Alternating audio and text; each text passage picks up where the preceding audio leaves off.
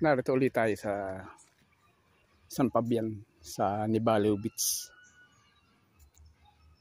Magtatanim tayo ng, ng abukado tsaka papaya uli. Ayun yung papaya natin sa Malayo pero medyo buhay na sila. Tsaka sisindihan natin itong mga nato yung mga damo rito tsaka mga sanga ng puno. Ito yung ating itatanim yan. Tsaka tatlong papaya uli.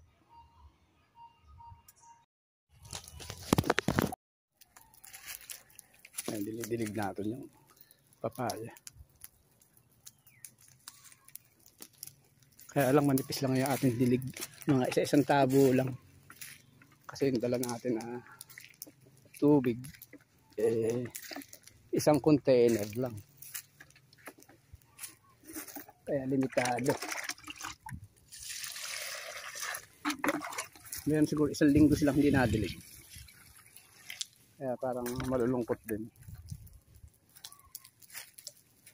Kailangan siguro kahit makamakalawa, didiligin natin sila. Makamakalawang araw.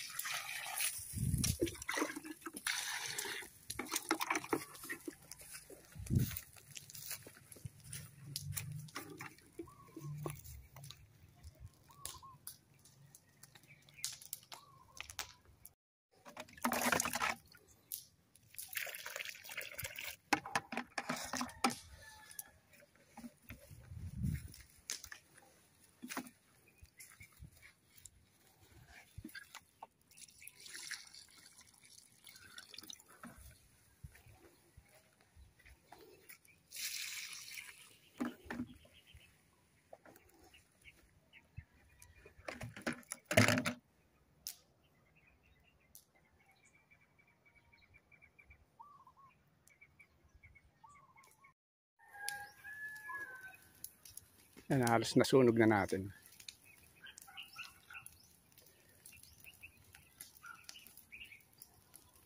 Pagka may susulpot pang damor yan, i-spray na natin siya agad. Aagarin na natin.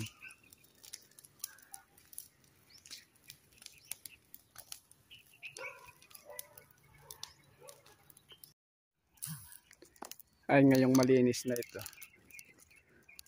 Ah, nasunog na natin. Ito na yung pinakamalinis dito sa mga magkakatabi na ito. Ito, ito yung katapat.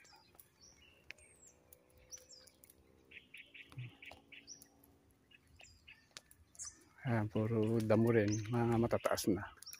Ganon din yung kabila yung gawing kanan puro puno tsaka talahib tsaka yung katyo harapan nila oh.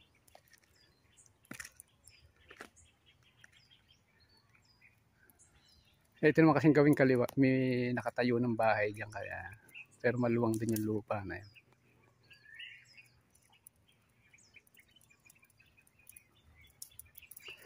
Dito dati may CCTV pero nawala na, tinanggal na nila.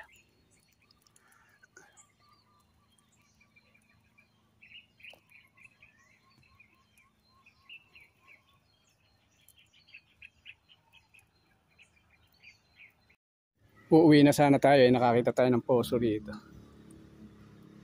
Para madilig pa natin ng maganda. Isang igib lang na ganito.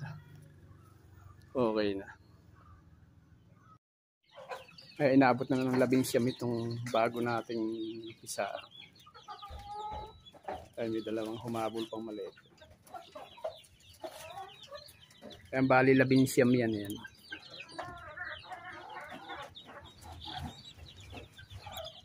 Saka itong labindalawa natin medyo malalaki na rin.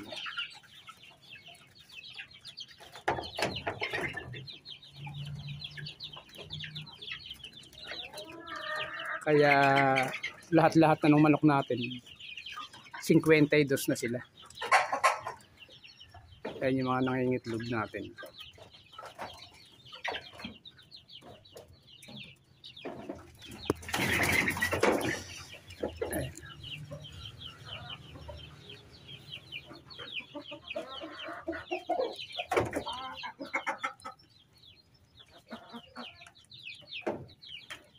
Ay, nangingitlog din yan eh. Nasa may, yung nakakulong na yan.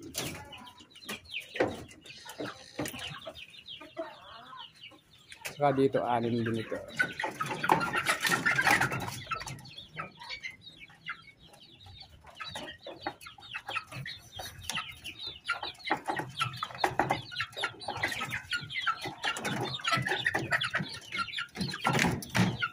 Saka itong isa natin na ito. Yan, nangingitlog din itong isang yan. Ano? Ayan. Medyo malaking tubos eh.